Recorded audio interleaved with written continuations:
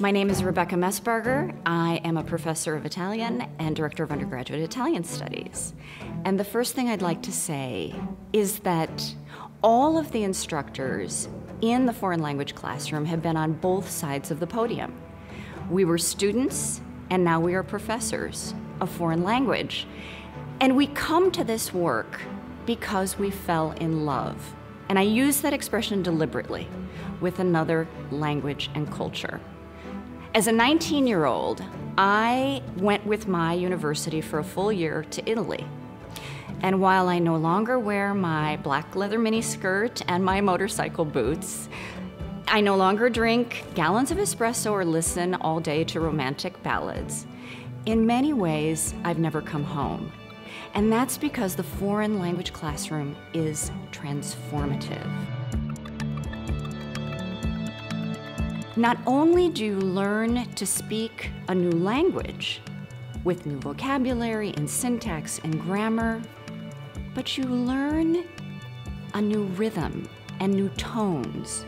You learn a different way to eat, to socialize, and fundamentally to think about art and literature and culture, and that includes your own.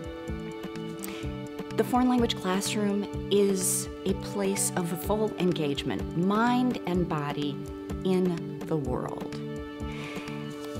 I often feel like I open a door for my students to a really exclusive club after they learn proficiency in Italian. Sabria is a student who, when she graduated a couple of years ago, um, led groups for disaster relief around the country.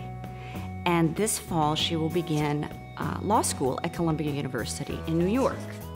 These classes had a profound impact on my undergraduate experience.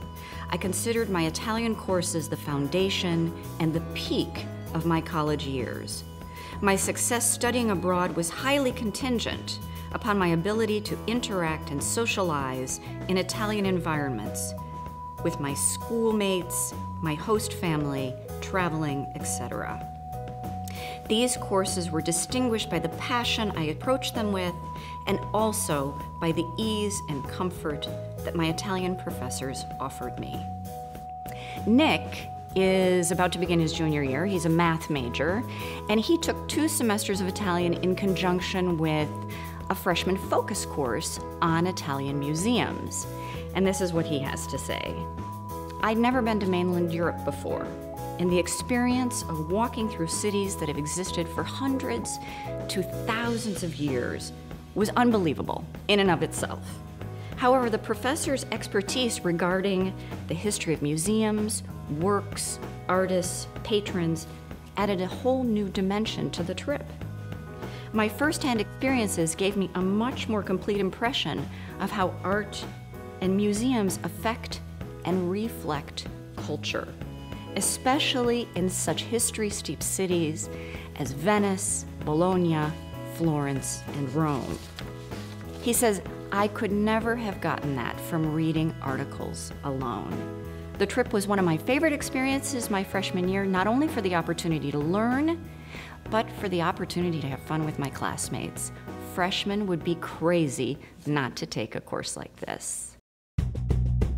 In every language classroom at Washington University, we try to spark that love affair from the very first day of 101 by creating the liveliest, most interactive, and culturally authentic experience possible.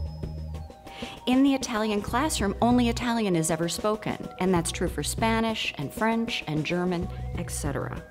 We want you to develop a proficiency so that you can study abroad and go to that villa built in 1506 in Castel Raimondo, eat black truffles, and learn about the Renaissance artist Lorenzo Lotto who lived there.